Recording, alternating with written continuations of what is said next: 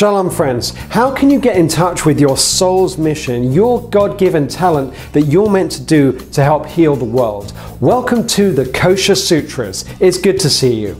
In the film The Blues Brothers, Jake and Elwood Blues were famously on a mission from God.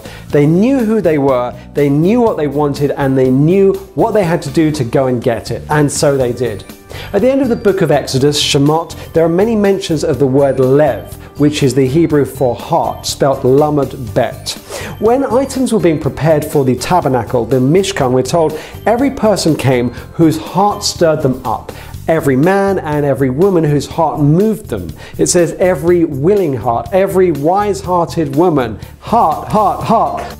Early yogic texts speak of the lotus of the heart. We're going to use this in our visualization. Today's yoga pose is Ustrasana, camel pose, and as you practice, meditate on raising your heart and listening to it. How do you want to help others? How can you serve your community? How can you heal the world? What is your personal mission from God?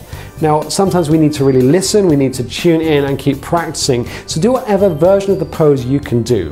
To take this teaching more deeply, you can read more in my book, The Kosher Sutras. Pick up your copy on Kindle or on Amazon for the hard copy, and then keep on practicing, keep listening to your heart so that you can tune in with your soul's mission.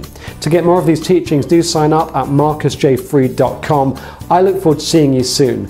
Be happy, stay happy, celebrate life. God bless and shalom. See you again.